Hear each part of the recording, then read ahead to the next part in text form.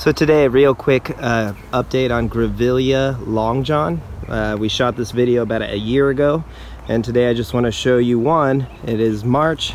It's been blooming like this the past few months. And two, I want you to see how large it's gotten. So we'll put the link up here somewhere. Scott will do that. And uh, and you can see what it looked like a year ago. So this is, in my opinion, one of the best Grevillea to grow in Southern California. And the reason why is one, no fertilizer required, two, drought tolerant, three, beautiful flowers, and four, it's the easiest Grevillea to grow. It's hardy um, to the mid 20s. I mean, this we had some frost this year and you can see it's, it's fine. Um, so those are just a few reasons why I think Grevillea Long John is one of the best Grevilleas to grow in Southern California. So again, Grevillea Long John, really, really beautiful um, easy to grow, leaf structure, it's nice and long. You can prune it back as a hedge or if you want to keep it short. Um, however, they do say the time of year in Australia to, uh, to uh, trim back or prune a Grevillea is when um, the jacaranda or jacaranda, however you want to say it, bloom. So uh, about June here in Southern California.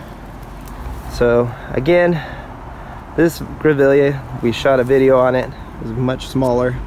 And you can just see all the nectar-eating creatures. There's a bunch of butterflies flying around here in Escondido right now.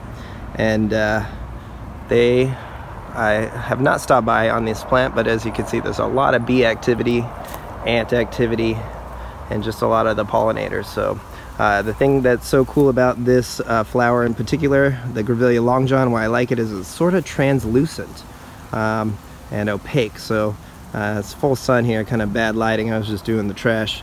And uh, as you can see, it's just really, really pretty flowers. Let's see if I can get some in the shade really quick, just to show you what I mean by translucent. All right, so here's a nice little cluster in the shade. I'll zoom in for you.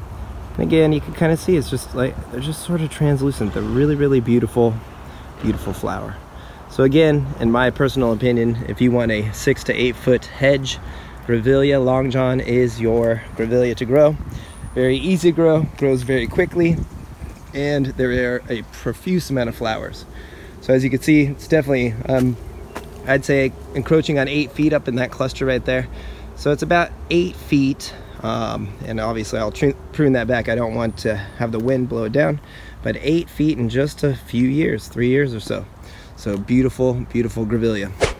On the plant list for sure. Grevillea Long John, there's your update. Bam. Bamboo in the back, Grevillea up front. Beautiful, beautiful.